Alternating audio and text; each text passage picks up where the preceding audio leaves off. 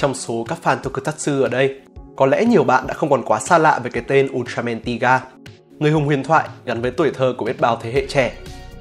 Vì nhận được khá nhiều yêu cầu từ các bạn khán giả của kênh, hôm nay RTK Media chúng mình sẽ đem tới một video tiểu sử về nhân vật Ultraman Tiga, cũng như quá khứ của toàn bộ cự thần ánh sáng ở thế giới của Tiga. Nội dung của video này dựa trên tiểu thuyết Ultraman Tiga To Shining Things. Giờ không để các bạn chờ đợi lâu hơn nữa, chúng ta cùng bắt đầu bước vào hành trình khám phá nhé!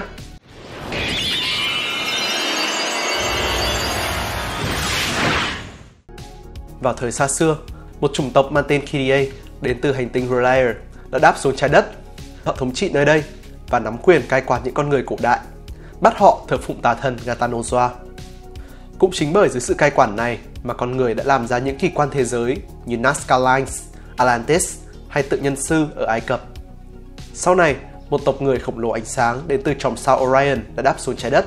Con người khi đó đã cầu xin sự giúp đỡ từ họ.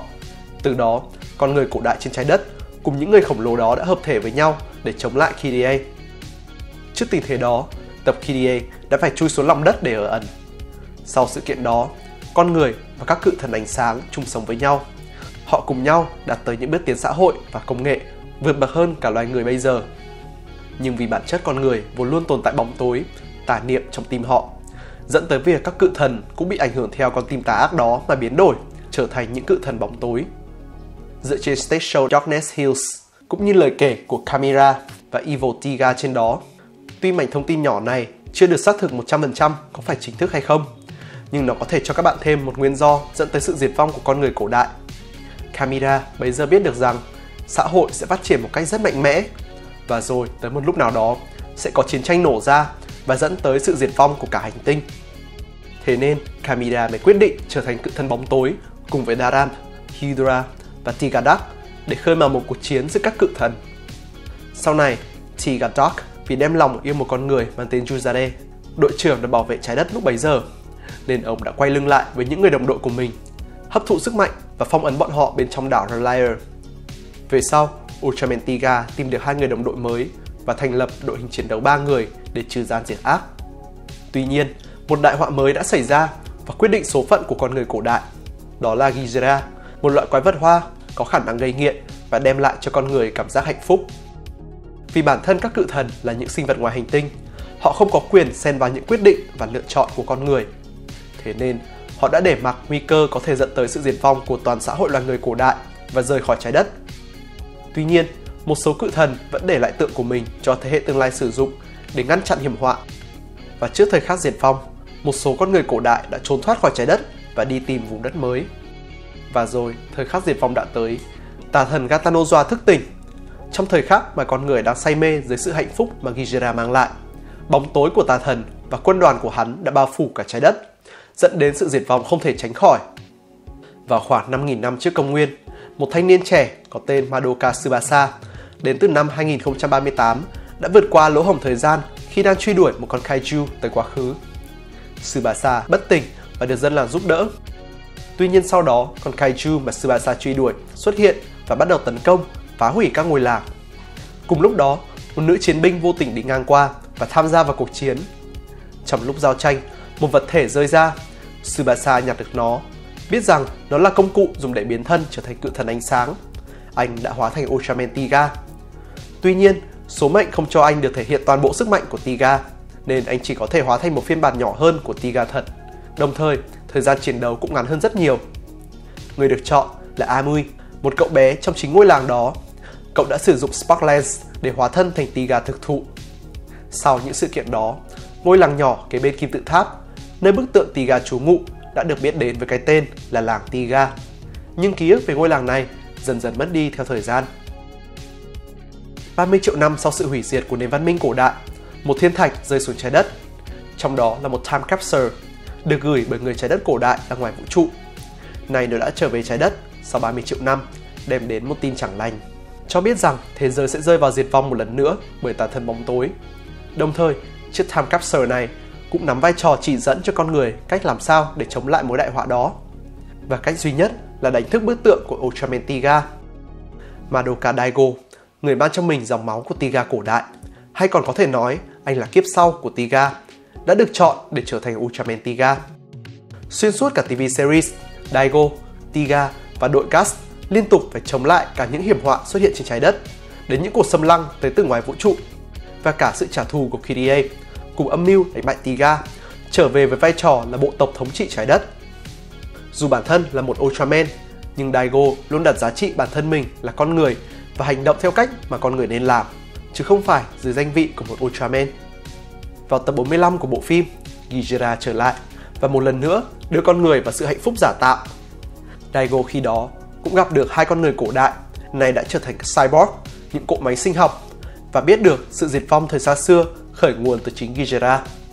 Tuy nhiên, khác với các cự thần ánh sáng cổ đại, Daigo vừa là ánh sáng, song anh đồng thời cũng là con người, nên anh có quyền lựa chọn bước đi đúng đắn dành cho nhân loại.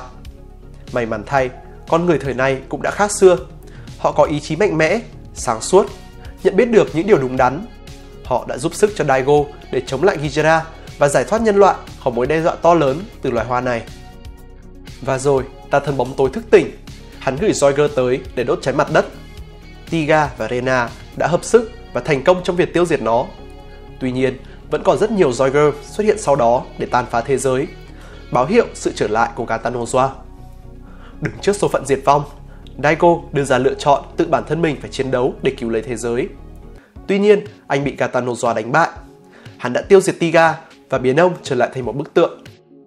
Ở sâu bên trong Tiga, Daigo bị Kirie chỉ trích và trách móc. Và do nỗi sợ Gatanozoa nên Kirie đã rời khỏi trái đất. May mắn thay, con người lần này không chịu đứng yên nhìn thế giới bị diệt vong. Niềm tin vào Tiga và sự hợp tác của con người đã đem ông trở về và đánh bại Katanozoa.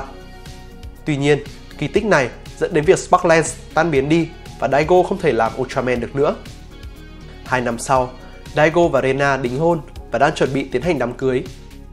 TPC khai quật được những pho tượng của ba cự thần bóng tối trên đảo Relier, Kamira, Darab và hidora Ba cự thần thức tỉnh, giết hết toàn bộ nhân viên trong đoàn khảo cổ và bắt cóc đội trưởng Iduma.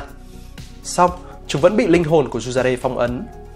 Tuy vậy, chúng đã khôn ngoan lợi dụng Daigo, báo mộng cho anh, buộc anh phải nắm lấy sức mạnh bóng tối, trở thành Tiga Dog và trở về đảo Relier để giải thoát cho chúng.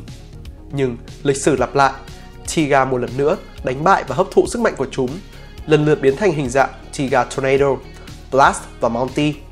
Sau cùng, với sức mạnh niềm tin và hy vọng đến từ những cự thần trong quá khứ đã ban cho, Tiga trở nên mạnh mẽ hơn, khai sinh ra hình dạng Glitter Tiga và tiêu diệt Kamida. Dẫu rằng Kamida là một cự thần bóng tối, song trước giây phút cuối cùng của đời mình, ả à, vẫn khao khát ánh sáng. Có thể nói, phân đoạn này củng cố thêm ý nghĩa cho câu nói đã được lặp đi lặp lại suốt cả bộ phim. Con người không thể xóa bỏ bóng tối trong tim mình. Dẫu vậy, ai trong số họ cũng có thể trở thành ánh sáng. Trong sự kiện movie Tiga and Dinah, Dinah gặp nguy và thế giới một lần nữa mất đi vị cứu thế. Tuy nhiên, bằng niềm tin và ánh sáng của con người, Tiga đã xuất hiện trở lại và cứu nguy cho Dinah. Cả hai hợp sức với nhau tiêu diệt mối họa.